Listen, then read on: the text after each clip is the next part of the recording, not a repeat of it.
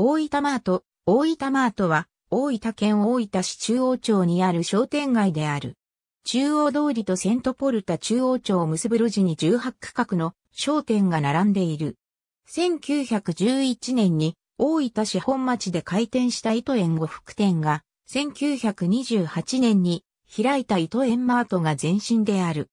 現在の大分マートは戦後間もない1946年に完成したもので、かつては食品や日用品を求める客で賑わった。しかし、2008年には全18区画のうち半数の9区画が空き店舗になりシャッター通りと化していた。